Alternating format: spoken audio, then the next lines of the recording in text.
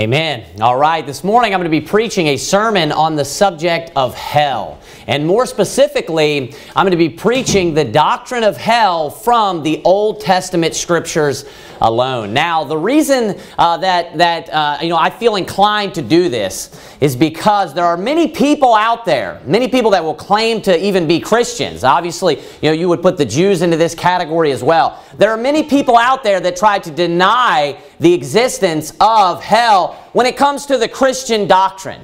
Because we as Christians, we believe that hell is a real, literal place. We believe that that place is located in the center or the core of the earth. The Bible talks about it being in the lower parts of the earth, and, and we're going to get into that. And we believe that it is a place of fire, and specifically it is a place of torment. We believe that there is an afterlife and that when you die, you are either going to go to heaven and be there for all eternity, or you're going to go to hell and be there for all eternity. We believe that is a real, literal place, and we believe that there are souls that are dropping into hell every second, and that is in the center of the earth, and they are conscious. And I'm going to show you from the Old Testament that the Bible teaches this Christian doctrine. I'm going to go through the Old Testament scriptures, and actually what I have in my sermon notes, basically, all it is pretty much is just all the verses just copied and pasted from beginning to end of just all the verses of that contain the word hell. Just the term hell in the Old Testament, one after the next. So we're going to go in order from beginning to end. There are, you know, of course, the Jews who claim, hey, you know, we believe the, they would say the, it's not an Old Testament to them, but they would say that they believe what we consider to be Old Testament scriptures, right? They claim that. Now, do they believe in hell? Whether Orthodox or unorthodox? They do not. They believe that when the, we have the word hell in our Bible, that it is just referring to the grave. That it's just referring to the place of the dead, just the general place of the dead or where people are buried, where they go when they're dead. And it's not a, a, a an on you know uh, going conscious state of the soul or anything like that. It's just the grave. That's what they would say right and they claim that they believe the Bible. In the first place, you know, of course, that's not true. Jesus said, if you believe Moses, you believe me. So they don't believe the Bible in the first place is their problem. Not only that, you know, you have people like Jehovah's Witnesses. You have all these Christians that have been Judaized, and Jehovah's Witnesses fall into the same category because they teach the exact same thing. And they're real big on, you know, trying to transliterate the word from the Hebrew and putting it directly into English. They'd say Sheol, right? You know, that's the word hell in the Old Testament. Do you think that they just came up with this on their own? Of course not. Just like how Christians, how Jews were trying to creep in and Judaize Christians in the New Testament scriptures that we read about in the book of Acts, it's not a coincidence that all these other groups, Jehovah's Witnesses and all of these people, and then also those that outwardly proclaim, hey, we're getting back to the Hebrews, root, Hebrew roots, they teach the exact same doctrine that Jews teach today. The exact same doctrine about what hell is according to them. Now, I'm going to be going from beginning to end. In the very first mention of the word hell, the first time the word hell or the term hell comes up in the Bible at all, and specifically we're focusing on the Old Testament scriptures, is here in Deuteronomy chapter number 32. Now, there is something amongst Bible students, people that are, are serious students or serious studiers of their Bible, that is called the law of first mention. It's a guideline in which you can understand the definition of a word. And this is very, very consistent. Almost every time that you look up a word and the first time that it occurs in the Bible, you're going to find a definition of that word. You're going to find words that are being used synonymous. You're going to find a very clear, you know, characterization of what that term or what that word means. Deuteronomy chapter number 32, verse number 22 is the very first mention of the word hell in the King James Bible. I want you to look with me at Deuteronomy chapter number 32, verse number 22. The Bible says this, for a fire is kindled in mine anger, and shall burn unto the lowest hell, and shall consume the earth with her increase, and set on fire the foundations of the mountain. So this is the very first mention of the word hell in the King James Bible. And the very first clause, the very first statement within the first verse says this, For a fire is kindled in mine anger. We get three words into the first verse where we find the word hell, and you know what we find? Fire. for a fire, and then he says this, is kindled in mine anger. So who is the one that is stoking this fire? Who is the one that is starting this fire? Of course it is God. Now what is the purpose of hell? God created hell. We are very, very you know, sure of that. The Bible tells us that. God is the creator of hell. He's the creator of all things.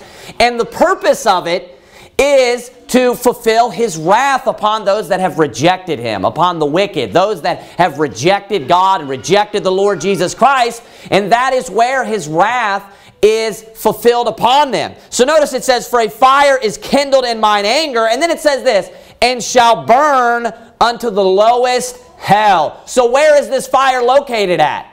Hell. So what is hell? What is in hell? It is fire. We find that out in the very first verse. Not only that, we are, we are told here the direction of where hell is located. What does it say?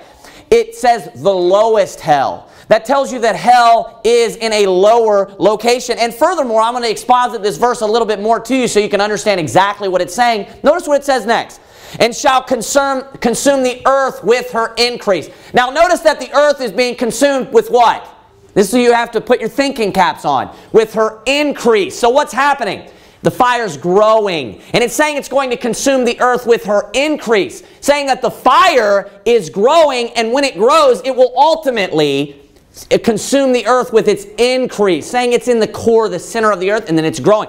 Further proof of that is the next statement. It says this, and set on fire the foundations of the mountain. So where is it located at? It's beneath the foundations of the mountains. It's not just the mountains, it's the foundations that the mountains rest upon or sit upon. So the very first verse, does this sound like a grave? Does this sound like somebody buried six feet under in a tomb over here?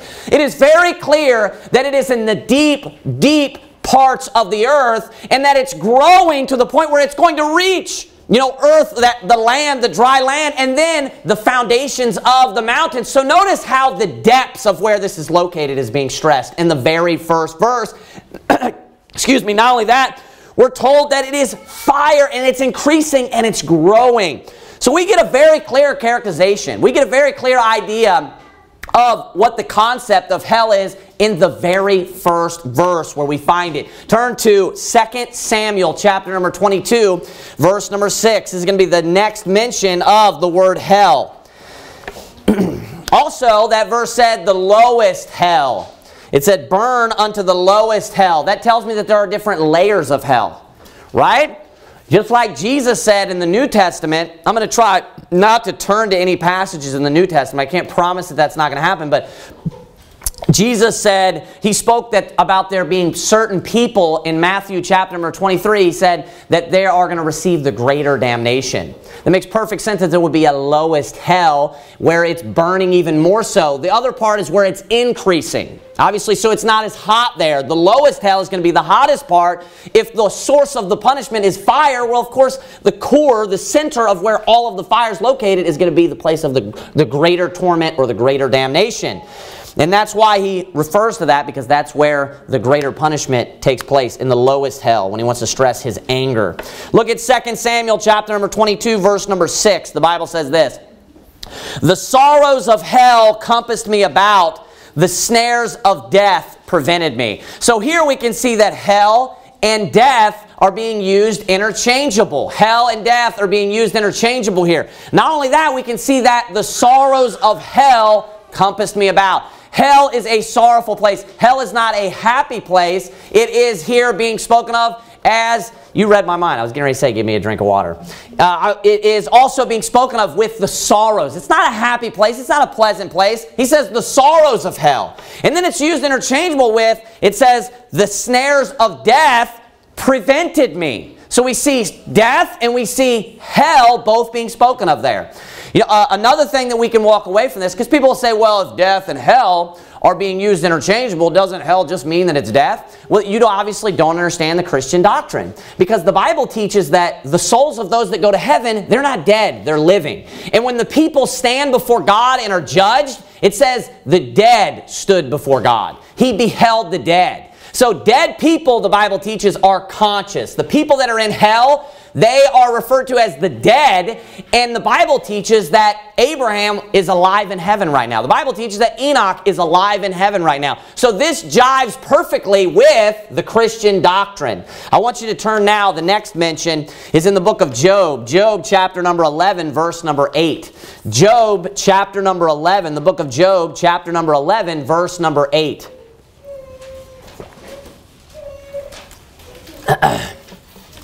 Job chapter number 11, verse number 8. It says this It is as high as heaven. What canst thou do? And then it says this Deeper than hell. What canst thou know? Now, this in context is speaking, we're going to see this come up a couple of different times. These verses are very important. It's in context talking about you know, the omnipresence, the uh, omni-understanding, you know, the how God's Spirit is everywhere. It's talking about searching out the understanding of the Lord. It's talking about how He's in all places at all times. And it's stressing the fact that He is in heaven. His understanding, uh, you know, uh, is as high as heaven. And then it's talking about how it's deeper than hell.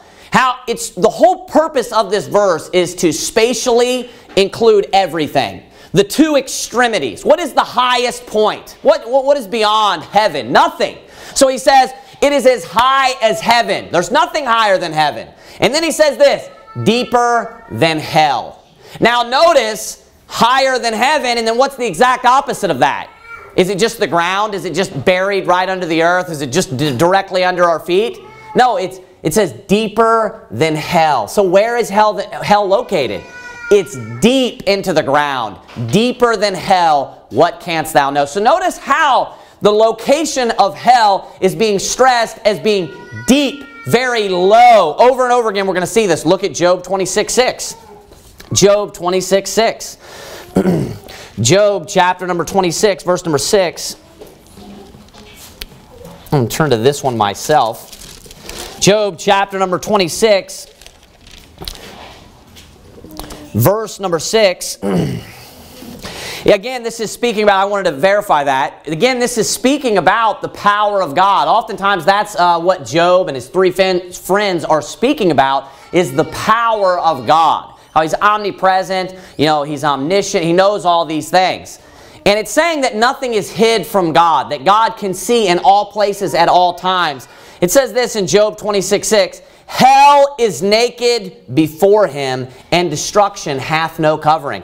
I want you to notice there what's used interchangeable with hell. Is it just a place of death?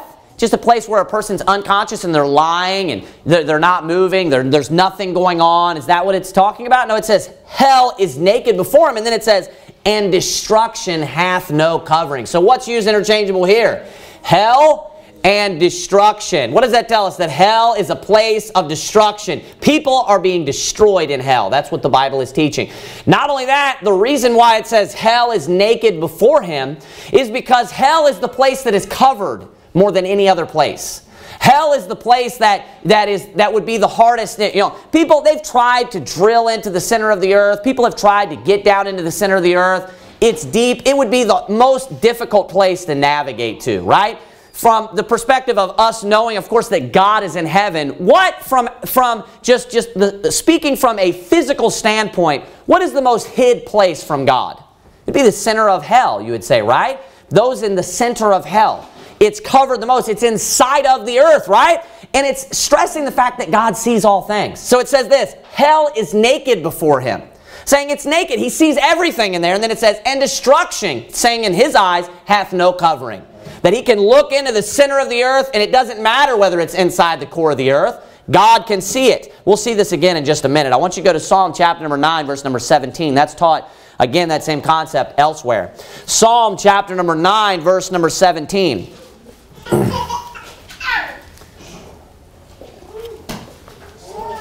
Psalm chapter number 9, verse number 17. Psalm chapter number 9, verse number 17 says this The wicked shall be turned into hell. And then it says, And all the nations that forget God. Now, notice specifically who's going to hell and who it speaks of as going to hell. It says, The wicked shall be turned into hell. So, who is in hell? The wicked. Notice how it doesn't just say the dead. The dead are in hell. No, it specifically mentions here that the wicked are in hell. The wicked are in hell. And then it restates that. What is it that's wicked about them? Why are they wicked? It says, in all the nations that forget God. So according to Psalm chapter number 9, verse number 17, it's not just the dead that are in hell. Specifically, it's the wicked. And even more specifically, it's those that forget God. It's those that have rejected the Lord. That is the dwelling place of those that go to hell. I want you to go to Psalm chapter number 16, verse number 10. Psalm chapter number 16, verse number 10. Psalm chapter number 16, verse number 10 says this, Thou wilt not leave my soul in hell, neither wilt thou suffer thine Holy One to see corruption. And this is, of course, quoted in Acts chapter number 2, verse number 31. It is a passage uh, that is prophetic of the Lord Jesus Christ, speaking how, about how the Lord Jesus Christ, when he died, his soul went down to hell for three days and three nights. And I plan on touching on that here more in just a few minutes. But notice what's mentioned here that's in hell. A soul is in hell. It specifically mentions that souls are in hell. Go to Psalm chapter number 18, verse number 5. This is actually just uh, the same passage that we read a moment ago in, in 2 Samuel. It's just also quoted here. Psalm chapter number 18, verse number 5. Bible says, The sorrows of hell compassed me about. The snares of death prevented me. So death and hell are used interchangeable, and we see that there are sorrows in hell. There are sorrows that are pertaining to or of hell. Go to Psalm 55, 15. Psalm chapter number 55, verse number 15. So we're just going to work our way through the Bible from beginning to end here as far as the Old Testament scriptures and see the word hell mentioned each time. Psalm chapter number 55, verse number 15 says this, Let death seize upon them, and then it says this afterwards, and let them go down quick into hell. Again, where is hell located? It's down, down quick into hell. Now, does that jive with where we started in Deuteronomy 32? Perfectly. It, it, it, makes perfect sense. It's perfectly consistent with that idea because it's below the foundations of the mountains. It's deep. It's the, he spoke about the lowest hell. It says, go down quick into hell. And then it goes on, it says this, for wickedness is in their dwellings and among them. Notice for, that means because. These are wicked, evil people, people again that have forgotten or rejected the Lord. Go to Psalm chapter number 86, verse number 13. Psalm chapter number 86, verse number 13.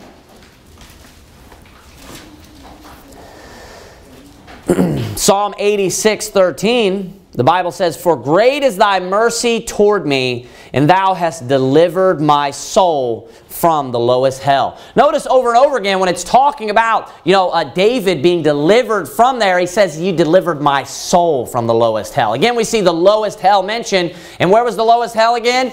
It was in the center of the earth. It was spoken of as being in underneath the foundations of the mountains. Go to Psalm chapter number 116, verse number 3. Psalm chapter number 116, verse number 3.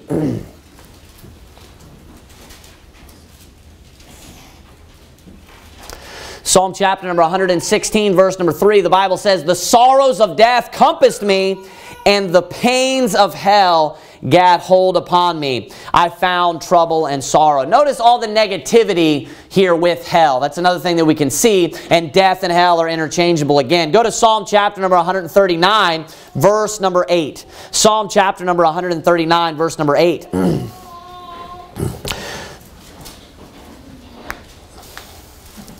Two things that we can learn from this verse. Psalm chapter number 139, verse number 8. The Bible says, If I ascend up into heaven, thou art there.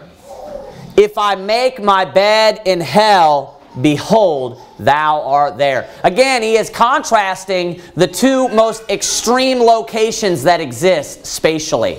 He says, if I ascend up into heaven, thou art there. And then he says, if I make my bed in hell, behold thou art there so he's trying to choose out in, in the most the, the locations that are the most opposite from one another the most polar opposite location so he contrasts heaven with hell not only that here it tells you also that God is omnipresent. It's the same teaching that we saw just a moment ago in the book of Job, uh, Job 11. Now I want you to go to Proverbs, the book of Proverbs, and specifically chapter 5, verse number 5.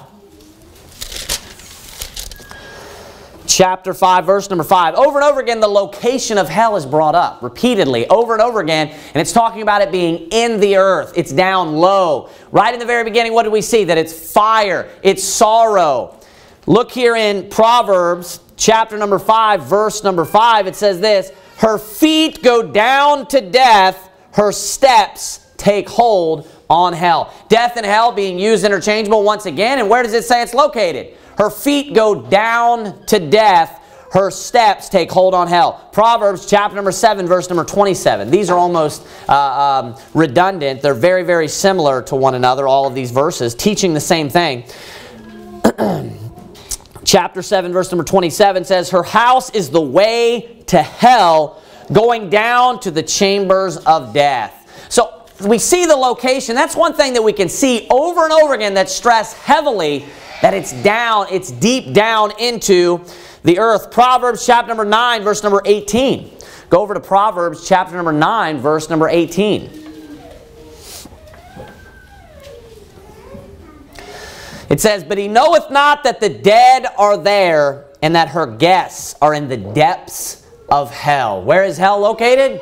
Again, once more, it's redundant, but this is what the Bible's teaching. Depths. It's deep. It's low. It's in the earth. Look at Proverbs 15, 11. Proverbs chapter number 15, verse number 11.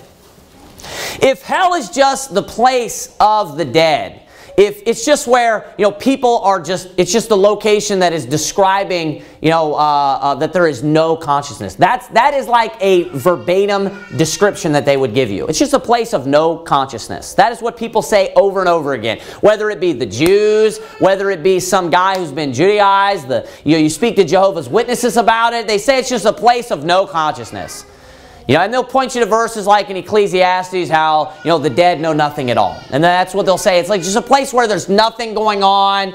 You're, you're, you're just, it's, you're just not conscious, right? You have no being. That's what they're saying. But look at this. Explain to me how this makes sense. Look at Proverbs chapter number 15, verse number 11. It says this, Hell and destruction are before the Lord. You notice that? So once again, what is hell likened with? Destruction. It says hell and destruction are before the Lord. Over and over again, we see the word destroyed and destruction being used with the word hell. So what is it teaching? It's telling you that hell is a place of destruction. It's not that hard to figure out. It's a place where people are destroyed. What was the very first description of hell? It said, For a fire is kindled in mine anger. And what does the New Testament clearly teach over and over again about the location of hell? That is a place of torments and that it is a place also of fire. It's a place where the dead are, but they are conscious and they are being destroyed. They are being punished and they are being tormented. So wouldn't it make perfect sense if we go back to the Old Testament and we look up the word hell that we'd find the word fire? Wouldn't that make perfect sense? Wouldn't it make perfect sense if we looked up the word hell that would mention sorrows, that would mention trouble, that it would mention the word destruction or destroyed over and over again? And what do we see repeatedly? Hell and destruction. Not only that, the New Testament's very clear that where is hell located? It's under the earth. It's in the center of the earth. It's in the heart of the earth, the Lord Jesus Christ said. The heart of the earth. Where does the Bible point you to every time in the Old Testament? Deep down. It's stressing that the location is deep into the earth, deep below your feet, deep under us. Proverbs 15:11 is teaching the same thing that we saw a moment ago in Job chapter number 11, that God sees all things and that he sees all things also in hell, which is a very, of course, enclosed location. It says this in Proverbs 15, 11, Hell and destruction are before the Lord, saying he sees all these things. Then it says this, How much more then the, the hearts of the children of men? Saying this, if God can see deep down into the earth in such an enclosed place, how much more does he know the thoughts of your heart or the thoughts of your mind? How much easier would it be to know your hearts and your, the, the children of men, those that are living in the land of the living, you know, if he can see deep down into hell? That's obviously nothing for him. That's what the purpose of that verse is, the meaning behind that verse. Uh, same chapter, go to verse number 24. Proverbs chapter number 15, verse number 24. Proverbs chapter number 15, verse number 24 says this The way of life is above to the wise. So, what, what direction does it point you to for life here? The way of life is above to the wise. Then it says this that he may depart from hell beneath. Where's hell located? Beneath. And what is it contrasted with? Hell and life are contrasted there, being opposites of one another. Antonyms. Go to Proverbs chapter number 23, verse number 14. Proverbs chapter number 23, verse number 14. Bible says, Thou shalt beat him with the rod and shalt deliver his soul from hell. Notice that hell is somewhere where we need to be delivered from. Don't we see that in the New Testament? It's somewhere that we need to be saved from. It's somewhere that we need to be delivered from. And specifically, being taught in the New Testament, if a person were to go to hell, what about that person goes to hell? Their soul. Over and over again, what does it speak about? Their soul being delivered from hell. Proverbs chapter number 27, verse number 20. Proverbs chapter number 27, verse number 20. Notice this again. Hell and destruction are never full. What is hell? It's a place of destruction. And then it says, So the eyes of man are never satisfied. So it's talking about hell and destruction never being full, and it says, So the eyes of man are never satisfied. Saying, it's, it's always getting larger. I want you to go to Isaiah 5 14, and we'll see this even clearer. So it says, hell and destruction are never full. It's always growing. What did the very first verse talk about hell doing? That it was increasing. It was growing. Hell was growing. Well, look at Isaiah chapter number 5, verse number 14. If, if this is just this place of uh, just a state, they don't even say that it's a literal location. They're just saying that it's a state of unconsciousness, right? What does it mean that it's growing? And what does it mean that the fire is located there and it's increasing? It makes zero sense because there are specific elements that are actually describing that state, if it's a state. Fire is in this state, destruction is in this state. Look at Isaiah chapter number 5, verse number 14. It says, Therefore hell hath enlarged herself. So what's going on? It's getting bigger. What did Deuteronomy 32, 22 say? It said that it was increasing. It was growing. What did Proverbs 27, 20 say? It said, Hell and destruction are never full. It's getting bigger and bigger. Look at Isaiah 14, uh, Isaiah 5, 14 further. Therefore hell hath enlarged herself. Now watch this. This is going to become relevant here in just a moment. And opened her mouth without measure. Notice it's without measure. It's massive. It's huge. It's enlarging itself. And it says, and opened her mouth. When you open your mouth, what are you doing? Right? When we just try to describe inanimate objects, oftentimes we'll use things to relate them to a person, like baseboards. It's the bottom of something. Oftentimes we talk about the feet of a couch or the, the, the foot of this or the foot of that. So we'll liken unto a person. When you swallow something, you as a person, where does it go? It goes into your stomach, right? It goes down into your belly, right? That's going to become relevant here in just a moment. Now, it says here, it hath in, without measure, and it says, and their glory and their multitude and their pomp, that's talking about their pride, and he that rejoiceth, watch this, shall descend into it. Where are they going? They're going down. And what's happening? Hell is enlarging herself and opening her mouth without measure. Keep that in mind. Go to Isaiah 14, 9. Isaiah chapter number 14, 9. Here in just a couple of verses, we're going to reference back to that. Isaiah chapter number 14, verse number 9, it says this, Hell from where? Beneath. Hell from beneath is moved for thee to meet thee, watch this, at thy coming. Notice that. So people are coming here and they're being met there. It stirreth up, watch this, the dead for thee. So who's located there? The dead. Even all the chief ones of the earth it hath raised up from their thrones, all the kings of the nations. Go to Isaiah 14, 15. Isaiah chapter number 14, verse number 15. Same chapter, look at verse number 15. It says this, Yet thou shalt be brought down to hell. Where's hell located? Beneath. Over and over again. It's redundant at this point. To the sides of the pit. Now I want you to notice there what's mentioned with hell. What is it?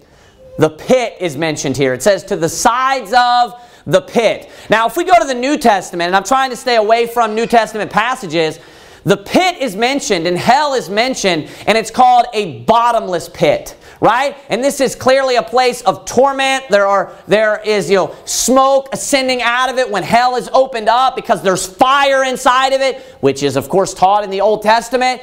Notice how here when the pit is spoken of, it's also a bottomless pit because it just mentions the sides of the pit, right? Well, I want you to go to Numbers chapter number 16, verse number 28. Now, this is the first time in relation to what would be uh, not a physical pit that it is spoken of. Not a physical pit as in what I'm referring to is just like a hole. Like a, you know, if we had just like a, an eight foot hole that's dug right here, we'd call that a pit. If you look up the word pit or the pit, or a pit really, in the King James Bible, the times that it comes up are number one with Joseph. That's the first time. It's repeated a few times there in like uh, Genesis 37. Then it's spoken of in, in Exodus, I think it's 21. Exodus chapter number 21, where it's talking about if a man digs a pit and he doesn't cover it and an ass or an animal falls into it, then he's got to pay back the guy, right? Then um, I think it's used one other time just about just a, a, hole. Another time, I can't remember exactly what it was, but it's in maybe the book of uh, Exodus later on in that, that particular book. And it's again, it's clearly just talking about a regular pit that's dug, right? The very next time you see the word come up is here in Numbers chapter number 16. Numbers chapter number 16, this is when Korah, Dathan, and Abiram are coming and they're, they're, they, they're, they're desiring the priesthood also as, uh, you know, uh, uh, Moses says to them and they're not happy with just being of the children of Levi. So like, seemeth it a small thing, you know, to be of the, of the family of Levi and, and having all of these blessings that are given unto you? So they're not happy with what they're given, so the wrath of God is kindled against them. Now I want you to notice what takes place here in verse number 28. It says this, And Moses said, Hereby ye shall know that the Lord hath sent me to do all these works. For I have not done them of mine own mind. Verse number 29. If these men die the death, the, I'm sorry, die the common death of all men, or if they be visited after the visitation of all men, then he says this, then the Lord hath not sent me. Verse 30, now watch this. But if the Lord make a new thing, watch this, and the earth open her mouth. Now, a moment ago when it talked about the earth opening her mouth, what was it specifically talking about? Going down into where? Into hell. When it talked about the mouth opening and hell enlarging itself, that was in Isaiah 5.14, it specifically mentioned the mouth, right? So it says this, And the earth openeth her mouth and swallow them up. Then it goes on and says this, with all that appertain unto them, saying all that pertain, all of their family. And they go down, watch this, quick into the pit. So where are they going? Where's the pit located? It's down. It's down into the pit. And it specifically talks about the, their, the earth opening up its mouth. Now, notice that phrase, Go down quick into the pit. Just a moment ago, I read to you from the book of Psalms. Book of Psalms, and it says this in Psalm 55, 15, Let death seize upon them and let them go down quick into hell. You notice that? The same exact phrase. And what is going on there, it's being used interchangeable when it talks about them going down quick into hell. It's talking about them going down quick into the pit in Numbers 16. And then we saw also in hell, it has a mouth. It's enlarging itself, right? Keep reading there. Verse number, where did we leave off? Verse 30. Look at verse number 31 now. It says this, And it came to pass as he had made an end of speaking all these words, that the ground clave asunder that was under them, and the earth opened her mouth and swallowed them up, and their houses, and all the men that appertain unto Korah, and all their goods. They and all that appertained to them went down alive into the pit, and the earth closed upon them, and it says, and they perished from among the congregation. And all Israel that were around, that were round about them, fled at the cry of them, for they said, lest the earth swallow us up also. So where did they go? The Bible says they went down into the pit. They went down in. So where is the pit when we see this phrase used repeatedly? It's used interchangeable with hell. It's not just a small hole. It's not just the place of hell. It's not just poetic and figurative about where people that die go. In a state of unconsciousness, it tells you specifically where the pit is located and what had to happen in order for them to descend into that pit. The earth opened up and clave asunder, and they dropped down where? Into the center of the earth. Now, our first verse, which is our foundation, gave us super clear descriptions of where hell was located. And where was it? Beneath the foundations of the mountains. Is that where the dead go? Is your body going to go beneath the foundations of the mountains? That is ridiculous. But you know what over and over again we see is that hell is described as being deep, very low. Why? Because it's in the center of the earth. And in order, when a person dies, their soul descends down into the center or the core of the earth according to the Bible. You cannot defend, you could not defend against the teaching of the Old Testament of hell being the center of the earth. There's no way.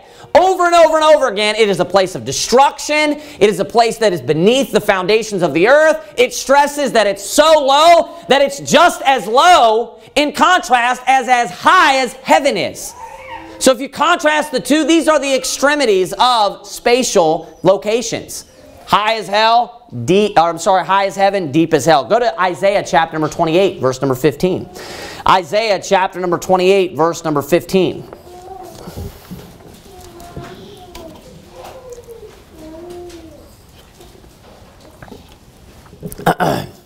the Bible says in Isaiah chapter number 28, verse number 15, Because ye have said, We have made a covenant with death, and with hell are we at agreement.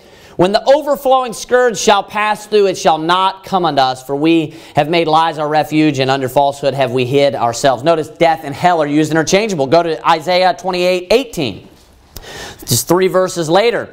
And your covenant with death shall be disannulled, and your agreement with hell shall not stand. When the overflowing scourge shall pass through, then ye shall be trodden down by it. Go to Isaiah chapter number 57, verse number 9. Isaiah chapter number 57, verse number 9.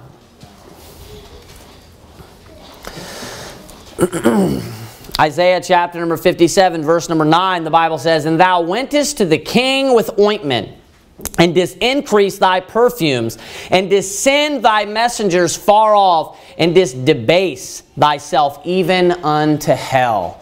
What is that? It's very low. That is the point of the passage. It's saying you debase yourself so low, you're even unto hell. Go to Ezekiel 31, 16. Ezekiel chapter number 31, verse number 16. Now we're just looking at the word hell every time. The concept of hell is taught in other words in, uh, you know, the word the pit, uh, and also another word we're going to look at right now, which is nether parts, a phrase actually, a couple of words that are coupled together, the nether parts. Now the word nether just means lower, like the Netherlands, it's, it's the, the lower lands. So when we see the word nether parts, what it's saying is lower parts. And this exact phrase to prove that you know, it's all our, our understanding needs to come from the King James Bible. That is our authority repeatedly by comparing Scripture with Scripture. And you can find that exact phrase in the King James Bible in the Old Testament and the New Testament, and that is lower parts. And it's being used interchangeable in the same context where it's speaking about the nether parts, it's also speaking about the lower parts. So if you weren't familiar with what nether meant, you could always just rely upon the King James Bible's built-in dictionary and deduce what it means from the Bible itself. Look at Ezekiel chapter number 31, verse number 16.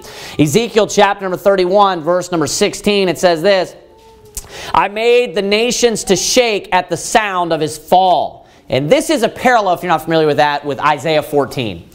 When I cast him down to hell, with them that descend into the pit. Now, notice in this verse, that's why I included number 16 once pit was mentioned for the first time there in our verses, with coupled with hell. Notice what's coupled with hell now again the pit. We see the pit being used interchangeable when it says that he's going down to hell. It says he cast him down to hell. It says with them that what? Descend into the pit. So it is correct to say when a person goes to hell that where are they going? They're descending into the pit. They're both true. The, the hell is actually referred to in the New Testament, as I mentioned, as the bottomless pit. Remember, the angel had the key, it says, to the bottomless pit. That is a reference that he had the key to hell. It says further, keep reading there where we left off in verse 16, and all the trees of Eden, the choice and best of Lebanon, all that drink water shall be comforted. It says this, it's being, you know, uh, uh, sarcastic or facetious, if you will, shall be comforted in the nether parts of the earth. Now, as I said, nether there means lower. So again, what is it talking about? It's talking about the low parts of earth. It's deep down into earth. Look at verse number 14. So right there in chapter 31, just look back a couple of verses. Verse number 14, it's not the word hell, but we're going to see the word nether used here. Look at verse 14. It says, To the end that none of, none of all the trees by the waters exalt themselves for their height. Neither shoot up their top among the thick boughs. Neither their trees shall stand up in their height, all that drink water, for they are all delivered, look at this, unto death. They're given up unto death is what it's saying. Watch this. Where is it located?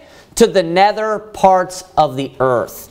In the midst of the children of men, with them that, watch this, go down to the pit. According to Numbers 16, where is the pit located? It's located, the earth, in order for the people to go down into this pit, the earth had to clave asunder. That means to tear apart. And asunder means like separate. And they went down into the pit. Here we see them going down in where? The nether parts of the earth. To say that death or to say that hell is just a place of, you know, where there's just no consciousness is absolutely ridiculous. Because over and over and over again, you know what the best definition for, you know, let me say, let me word it this way. Do you know what is hell is characterized almost every single time and the majority of the time with? Not necessarily pain and sorrows. We see that repeatedly. We see it being characterized with fire, but every single time is being characterized or described as being very low in the earth. Extremely low, down deep. And it's, and it's stressing that it's not just under the earth. It's not just a little bit low. It's underneath the foundations of the earth. That is the main description of, where, of hell in general. It's of where hell is located and that you must descend in order to get there. So to say that it's just a, a, state of no consciousness is absolutely ridiculous because we're given a very clear description over and over again of hell, repeatedly. And one of the main things is that it's deep and that it's low and it's in the nether parts of the earth. Go to Ezekiel 32, 24. Go to Ezekiel chapter number 32, verse number 24. Ezekiel chapter number 32, verse number 24, the Bible says, There is Elam and all her multitude round about her grave, all of them slain, fallen by the sword, which are gone down uncircumcised.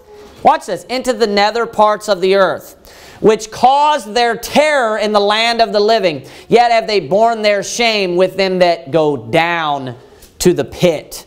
There's another verse where we see pit, and nether parts used interchangeable. Go to Ezekiel 31, 17. You know, go to Ephesians 4 real quick. I thought about going here uh, um, earlier in the sermon. That's why I said I, am going to try to stay out, but I, I am going to go here just because we see nether used there, nether parts. Lower parts is also used in the Old Testament in the book of Psalms a few different times. If you look up the word lower parts, it's in the book of Psalms and it's in the same discussion. It's talking about going down into the lower parts of the earth, being his soul being delivered from the lower parts of the earth. It's, it's, it's a clear reference to a place of the afterlife, a location of afterlife where people are punished and he's delivered from there because it's a bad place. It's a place of fire, of course. Look at Ephesians chapter number 4. This is speaking about the death, burial, and resurrection of Christ. It says this in verse number 8. Wherefore he saith, when he ascended up on high, he led captivity captive and gave gifts unto men. Now verse 9. Now that he ascended, what is it but that he also descended first into the lower parts of the earth? Now we are told very clearly, very, very clearly about where Christ's body was buried, what actually took place with his physical flesh and blood. And he was taken, his body was taken and put into a tomb. There's no way that you could try to twist this to say that it's a state of unconsciousness. It clearly teaches that he went down into where? The lower, he first descended. Think about what's being contrasted. When it's saying that he ascended, isn't that a state of consciousness? Isn't he actually going and he's conscious to where he's at? He goes up where? To heaven. And it's an actual location where he's going. Okay? Well, that is being contrasted with what? The fact that he descended first into the lower parts of the earth. So over here we see him being conscious, he's alert, he's alive, he's obviously awake. I mean, it's the Lord, goodness sakes. But where does he go? Up into heaven. So what is being taught when it's contrasted? What's the point? You know, it's showing that there, that there are differences, but there are everything that's contrasted. The point is, of course, to make show the difference between something, but there's also similarities there. There has to be a similarity in order to compare the two in any way, whether it's a contrast or not. So he descended into the lower parts of the earth. So that also, the only way that, that makes sense is that also is a place of consciousness. And not only that, it's a place where you're actually literally descending. When Christ went to heaven, did he literally ascend to heaven? Everyone would agree with that. Those that reject that hell is a place of fire and torment, they would even agree with that, wouldn't they? Well, then what in the world does it mean that he descended? Maybe it means that it's the literal lower parts of the earth. Maybe it means just like when Korah, Dathan, and Abiram went down quick into the pit, went down into hell. Maybe, you know, if we want to get an idea of what it means that these phrases, you just look them up repeatedly and you'll ultimately find a definition. And the Bible will give you an example of a person actually doing that. So if you see the phrase being used, you know, as an example, go down quick into the pit. Look up when a person actually does that. If we want to know what it is, look up when that actually takes place. One time in the whole Bible. Where it's described and it uses that language. You know where it's at? Number 16. You know what happens? They literally go down into the pit. And where is it? It's the center of the earth. The earth opens her mouth and they drop down in. We see this. We see all of these consistencies over and over again because it's the same doctrine. Enlarging herself, increasing herself. There's fire. You know, the Old Testament teaches the doctrine of hell just as strong as the New Testament does. Every single mention I can use to back up my doctrine and debunk these fools that reject that hell is a place of fire. Every mention is a place of destruction, place of fire, a place down deep into hell. It's a pit. It's so stinking clear. You know, you have to, you do, you have to just completely reject the Bible and the gospel in order to reject the doctrine of hell. If someone does not believe that there's a literal hell, that person is not saved. I don't care if they believe every other doctrine about the gospel. You have to, in order to believe the gospel, you have to believe that he's saving you. And what he is saving you from is, the whole purpose is that he's saving you from hell. That is what you are being delivered or saved from. You know, when the Bible uses the word death, it's not just the physical death. That encompasses hell as well. And the gospel, you know, is when, when it's talking about us being delivered, He delivered us, He saved us. That is being saved from our punishment. And you must understand that your punishment is in what you are deserving of is to burn in hell. I want you to go now to Ezekiel chapter number. Do we go to 3117 yet? No, we have not. Go to Ezekiel chapter number 31, verse number 17. Ezekiel chapter number 31, verse number 17. The Bible says, They also went down into hell. Notice down. With him unto them that be slain with the sword, and they that were his arm that dwelt under his shadow in the midst of the heathen. So notice how going down into hell happened after they were slain with the sword. Go to Ezekiel 32. The very next chapter, Ezekiel chapter number 32, verse number 21. This is interesting. it says this in Ezekiel 32, 21. It says, The strong among the mighty shall speak to him, watch this, out of the midst of hell with them that help him. They are gone down, they lie uncircumcised, slain by the sword. So where are they? They've gone down. But not only that, what's going on in hell? People are speaking in hell. Kind of like New Testament doctrine, Father Abraham, send Lazarus that he may dip the tip of his finger in water and cool my tongue, for I am tormented in this flame. So what's he doing? He's speaking out of the mist of hell. Just like here, what do we have going on? Someone speaking while they're in hell. They're still able to speak and talk, just like the rich man did in Luke 16. Go to verse number 27 now. Ezekiel chapter number 32, same chapter, verse number 27 says this, And they shall not lie with the mighty that are fallen of the uncircumcised, which are gone down to hell with their weapons of war. And they have laid their swords under their heads, but their iniquities shall be upon their bones, though they were the terror of the mighty in the land of the living. Go to Amos chapter number 9.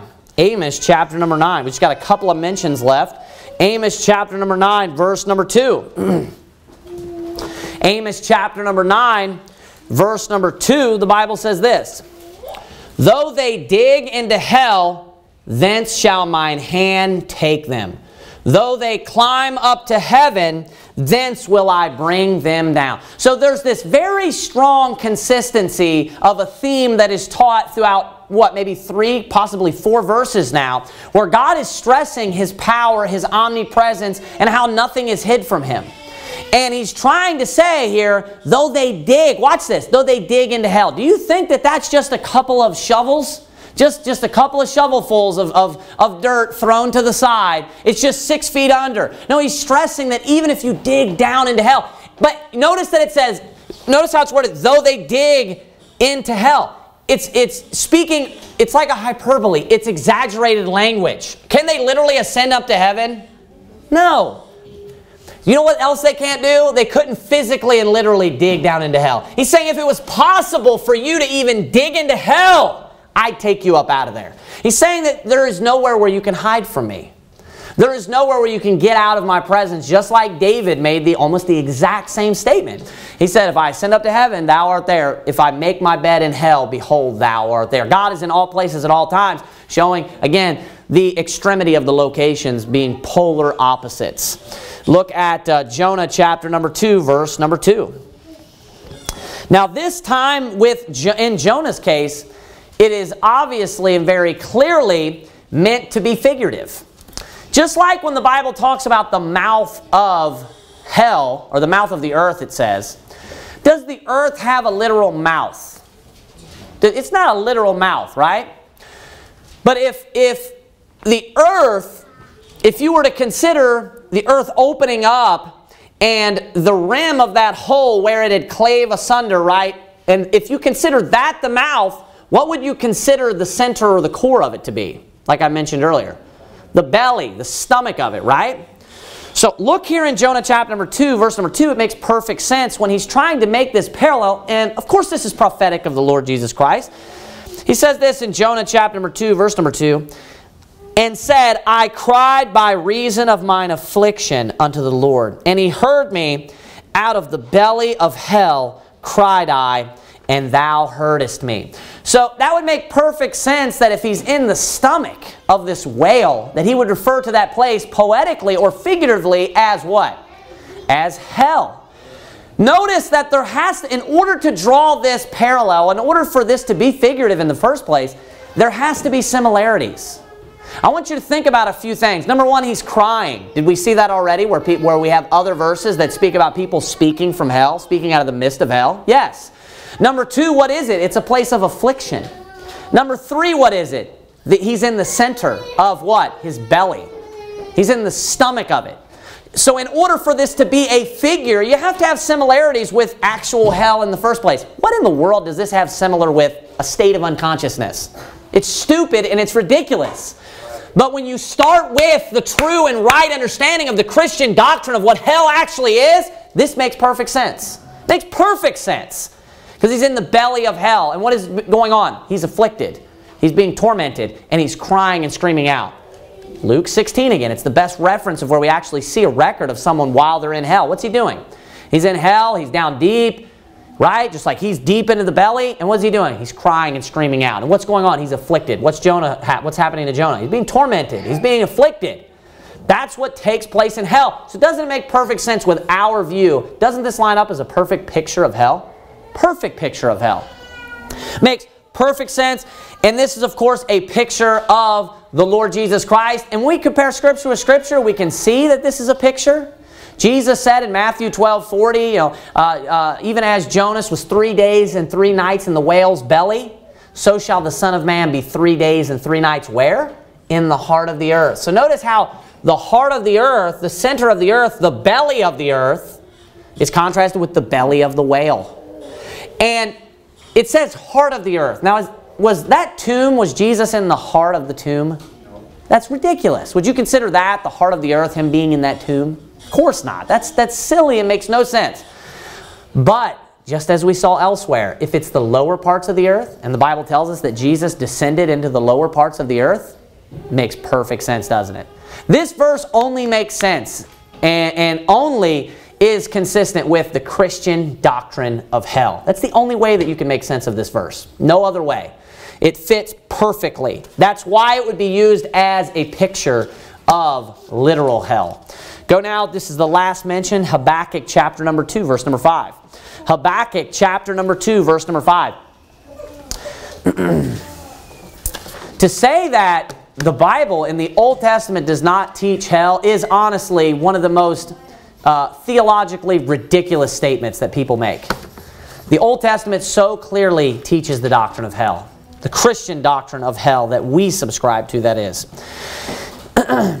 people will try, even people like James White even, they even will look at the Old Testament and therefore, you know, transliterating the, the word Sheol into, you know, uh, uh, the English, just taking the word and just putting it straight in English. Because even he, when he reads a lot of these verses, he would say, yeah, that's not talking about, you know, the place of torment.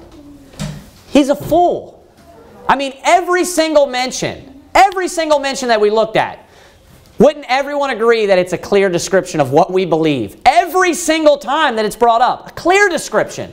It's deep, it's down, it's in the lower parts of the earth, it's in other parts of the earth. To say that that is the grave, and that's what they'll say, well, Sheol means grave. Number one, why didn't you translate it as grave then? Sometimes they do that, but therefore translate or transliterating it oftentimes as Sheol, and then they want to tell you in the English that it's grave. Well, why in the world didn't you just translate it as grave then? What sense does that even make? And the reason, of course, is because he wants to be the authority. He loves when you say, What does Sheol mean, Dr. White? Tell me what Sheol means. Well, come sit down at my desk and let me explain to you, you know, with all my books behind me, what Sheol actually means. Why not just translate it as grave? What sense does that even make?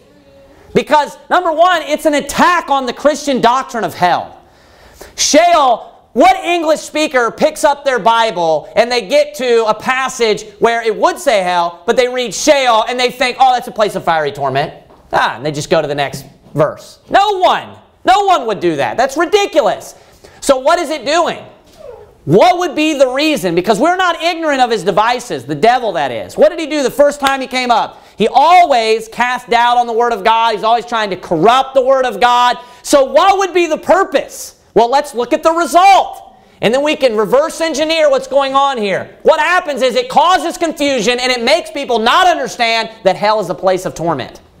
Because everyone knows what hell means. If any English speaker, I don't care if you're churched or not, if you read a verse that said hell, they're all going to picture fire, torment, deep parts of the earth. Every person. Everyone. But what are they going to think when they read Sheol? They're not going to have a stinking clue. So how does the devil benefit from that?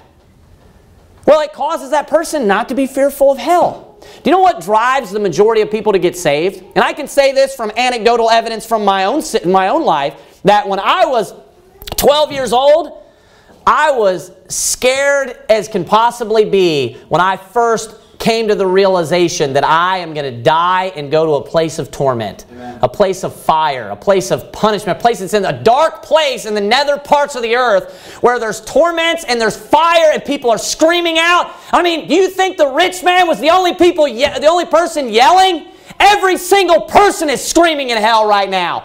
Every single person that is in hell is screaming out at the top of their lungs. And you know what it causes people to do when you take out the word hell and put in Sheol? It causes people to not be afraid and to not think about a place that is probably that person's destiny at that moment. And that's exactly what Satan wants to do. Every single change in the Word of God is calculated. They're not accidental. It is the devil trying to corrupt the Word of God to cast doubt in people's minds or otherwise deceive them into believing something other than what the Bible teaches. Every single time. So you look at these, these, these stupid, corrupt modern Bible versions, and all of these changes, don't think they're accidental. These people are not good-hearted. You know, these are, these are tools and instruments of the devil. You look at the, the, the, lives of these people, like you know Westcott and Hort, who were used to put the these guys were were were stinking you know into mysticism. They were you know part of these these secret societies. They were wicked, wicked, evil people. You know they're they're worshiping Mary. They're Catholics. Every single one of them. You look at the NIV, and uh, one of the women who was who was uh, basically an advisor, an editor on the board, is a stinking dyke. Can you imagine if you wanted to translate a Bible, which God forbid none of you would ever want to do that, that you would reach out, oh, she's got great skills, you would reach out to a woman that is a lesbian to say, hey, can you look at this for me and see if we translated this property properly? Just give me some advice on whether or not we translated this properly. And it's just a coincidence that in those Bibles they removed the word sodomite. That's just coincidence.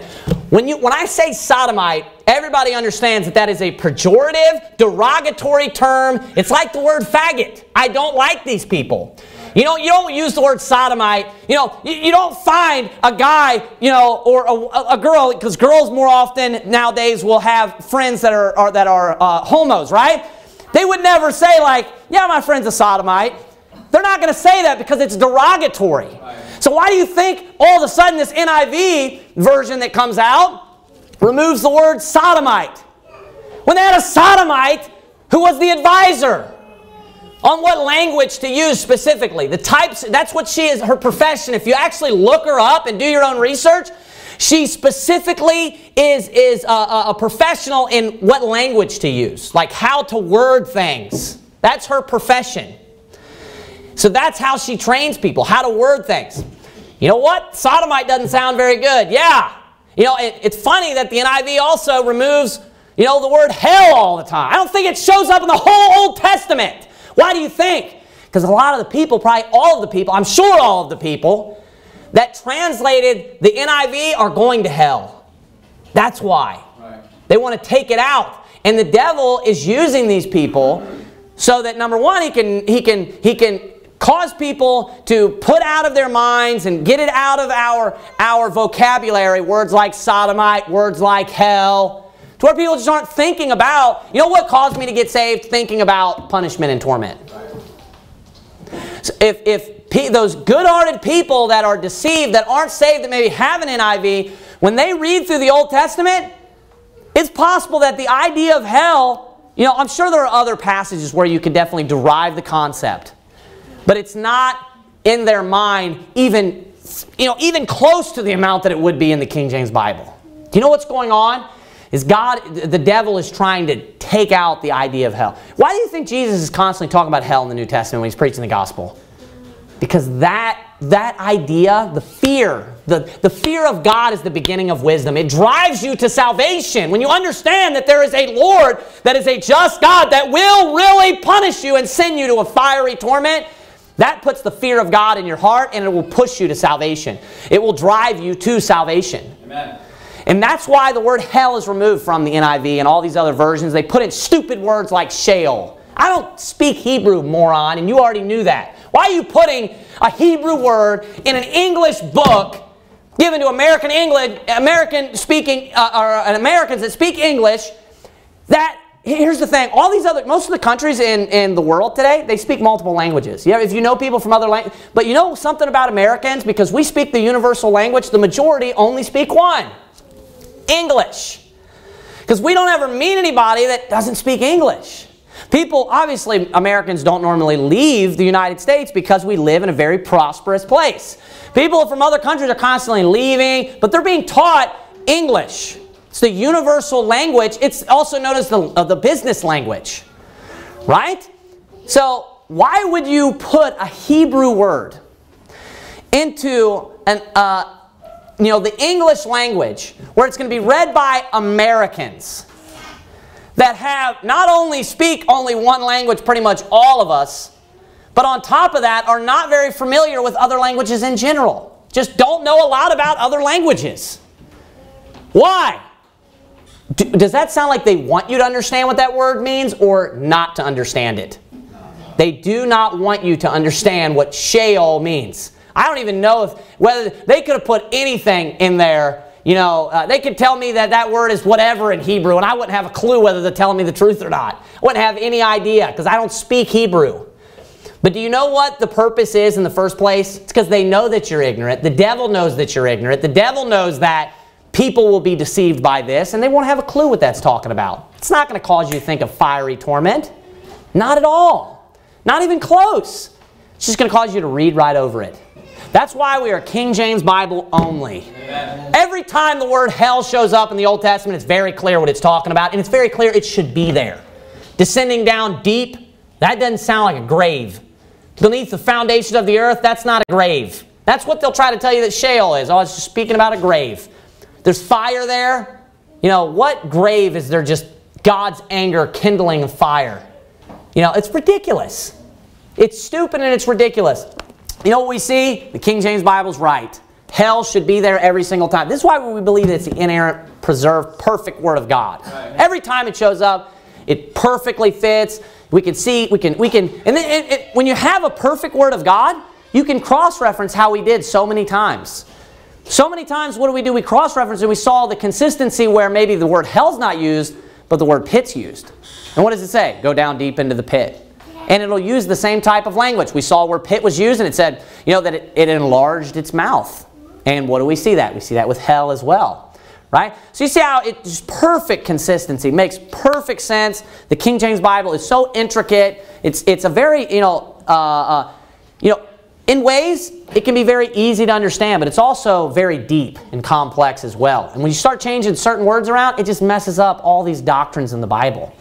Look at Habakkuk chapter number 2, verse number 5. Can't really derive or cull a lot from this verse. Uh, we can see some consistency when hell is used elsewhere, but this will be the last, this is the very last occurrence of the term or the word hell in the Old Testament. Habakkuk chapter number 2, verse number 5 says this Yea, also because he transgresseth by wine, he is a proud man, neither keepeth at home. Now watch this. Who enlargeth his desire as, as hell. Saying he, enlarge, he enlarges his desire just like what? Just like hell enlarges, right? And we saw that multiple times, how hell enlarged. You know, uh, it's getting bigger, it's increasing, it's, it's enlarging. Why? Because people are dropping into hell constantly. Just every second.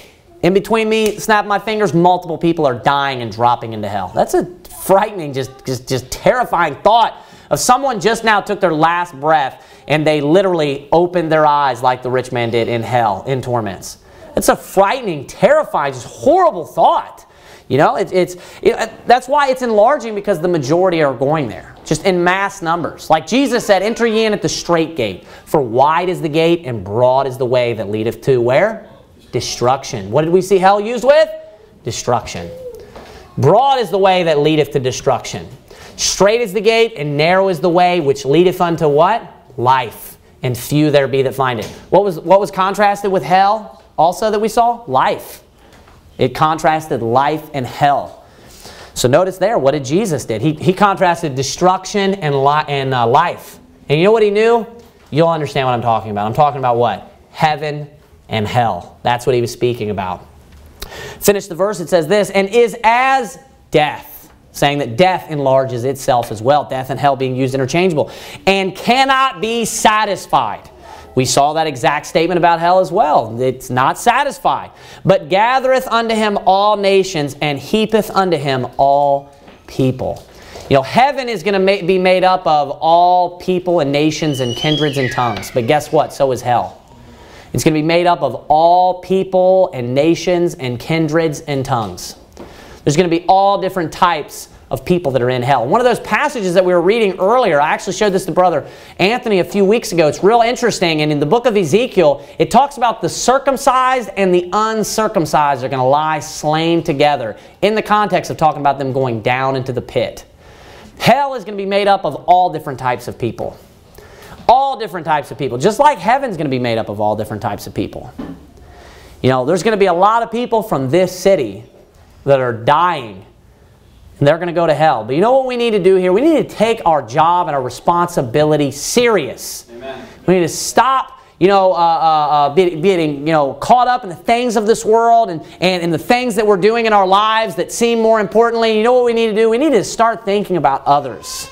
And start thinking about and, and, and reflect for a few minutes on how horrible hell is. You know, I haven't preached a full sermon on the subject of hell. I've mentioned it, but I hadn't preached a full sermon on the subject of hell the whole time that the church we've had the church. This was the first time.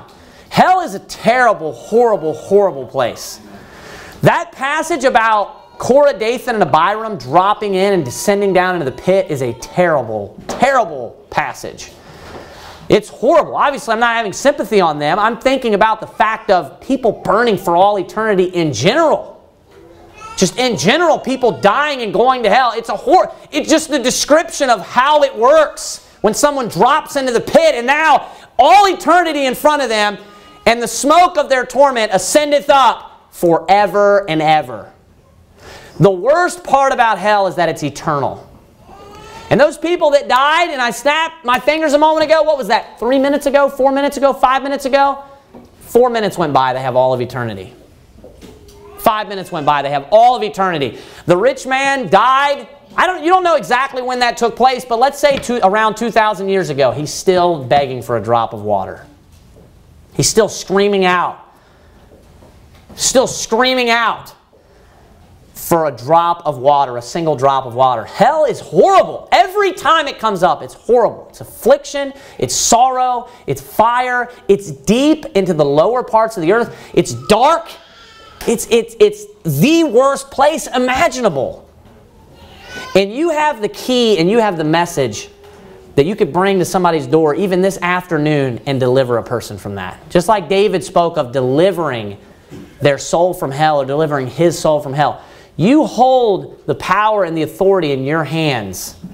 When you carry around that King James Bible and going to someone's door and knock on their door, you can change that person's destiny for all eternity. And give them access to the way of life. Give them access and, and help and take part in that of delivering their soul from hell. Let's reflect on how bad hell is every once in a while. Let's think about how horrible it is. Think about the feeling like when you got saved. I could still remember how terrified I was. I remember it so clearly. Because it was such a strong terror. When I really understood, hey, hell is a real place of real fire and real torment. I'll be away from my family. I'll be away from all of my friends. I'll be all by myself in this dark, deep place. All these different people. I have no idea who they are. There's smoke. I'm choking. It's dark. I can't see anything. And I'm being burned in flames for all eternity. It's a horrible thought. And those same people are going to receive just a moment of relief when they're brought up to be judged, and then guess what? Thrown back into the lake of fire. Just all eternity in front of them. Can you imagine burning in hell for, for 8,000 years and then being brought up and having a moment of relief? Just to stand before the creator of the universe and him to stand there and judge you based upon the life that you lived and condemn you for breaking his commandments and then telling and announcing and proclaiming to an angel, bind him hand and foot and cast him into outer darkness. How horrible! There are people that that is going to happen to in this city and you have the opportunity to have compassion on them and make a difference. Let's take the job of soul winning and saving people seriously. Amen. Let's bow our heads and have a word of prayer. Dear Heavenly Father, God, we thank you, dear Lord, for your word. We thank you for the power of the gospel. We